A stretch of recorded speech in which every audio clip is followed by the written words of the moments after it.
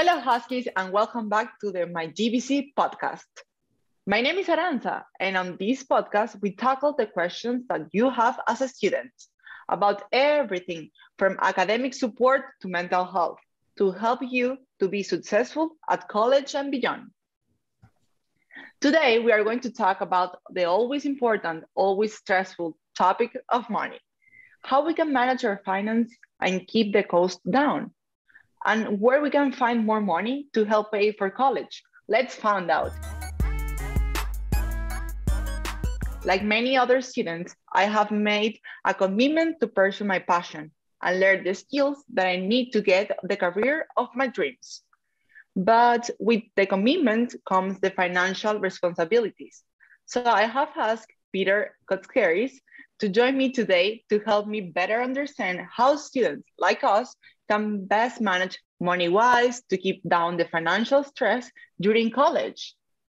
Peter, how are you today? I'm doing great, Aranza. Thank you for having me. How are you today?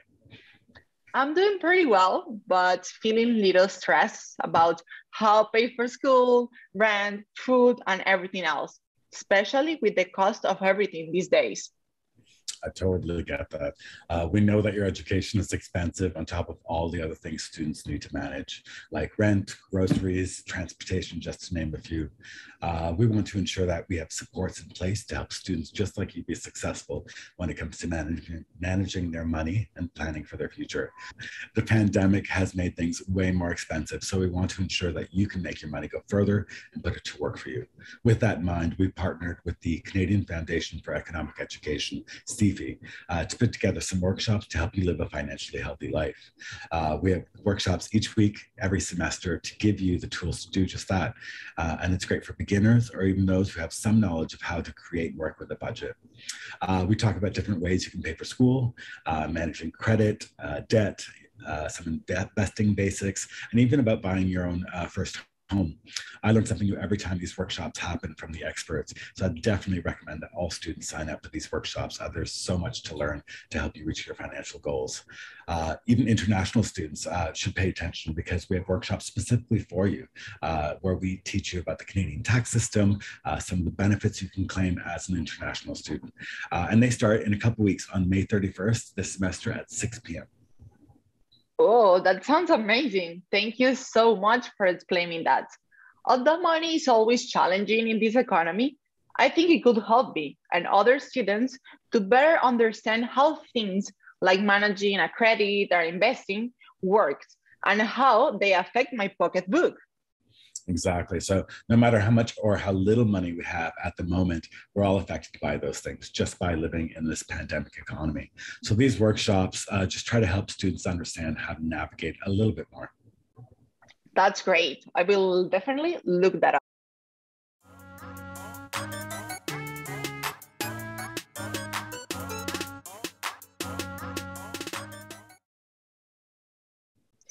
So now we know what's available to help manage our personal finances. But of course, the biggest expense is covering school. Luckily, Peter, you also know all about what supports are available to students at GBC Financial Department. Can you tell us a bit about awards and scholarships? Absolutely, I'd be happy to. So at George Brown, we have an awards program that provides students the financial support they need to succeed in their academic career. Uh, we have uh, supports in the form of scholarships, uh, awards, and bursaries, um, and they're awarded uh, to eligible students based on criteria not just limited to your academic achievements, but based on financial need and your community involvement. So the criteria varies based on the award, and you can view it all on the financial aid webpage on the GBC website. Okay, that's so helpful. But filling out this application seems complicated and time consuming. How would you suggest someone to get started? Oh, I totally understand that. But really, the steps to fill out this application are not that complicated. I would suggest that you do set aside some time to dedicate to this, as there are a number of sections that you need to complete. Um, we've actually put together step by step instructions on how to apply for awards and scholarships on the GBC website. Uh, make sure you open them up on a separate tab on your browser so you can follow along as you fill it out. I'd also say check other scholarships and awards that are available to you in your community, either here uh, in Toronto or wherever you're studying from. Uh, this could be through your workplace, your parents' workplace, community groups, associations, faith centers that you belong to. There's a lot out there. You just need to take a look. Okay, phew. that sounds a bit more doable. Thank you, Peter. I will definitely let other students know about to check it out.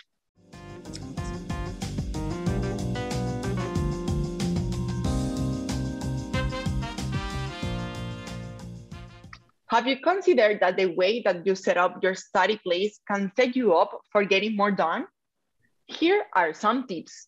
One, set the scene. If you like to study in absolute quiet, set up a space in a bedroom or in an out of the way spot. If you thrive in a busier atmosphere, carve out your permanent corner of the kitchen or family room for your studying. Whichever one it is, keep it consistent every day. Two, make the space comfortable. You can add things that allow you to feel better and be focused. Maybe some candles with your favorite smell, or some photos or plants that put you in your happy place. Three, make it ergonomic as much as you can. Four, stay organized. Keep your study materials all together and put them away in the same place each time that you are done. For more helpful tips about setting up your space in a way that can work for you, visit our online learning microsite.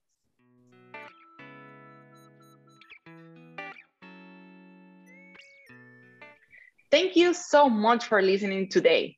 We'll be back soon with some more important topics that can help you navigate life at college. Till then, have a great week.